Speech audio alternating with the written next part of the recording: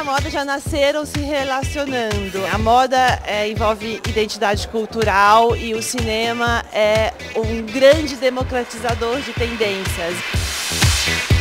Eu dou sempre algum, um, alguns exemplos. O moletom do Flashdance era uma peça que todos os underground moderninhos estavam usando nos anos 80 e com o Flashdance toda menina de toda parte do mundo, da China ao sul do Brasil, usavam o tal do moletom rasgado com a calça rasgada. O Film Fashion é um festival de cinema. Ele nasceu com a intenção de democratizar um pouco da cultura de moda, porque no Brasil a gente convive muito com o comércio da moda. E como as faculdades de moda no Brasil crescem assustadoramente, há um público muito ávido por esse tipo de informação histórica e analítica e interessante e divertida ao mesmo tempo de entretenimento.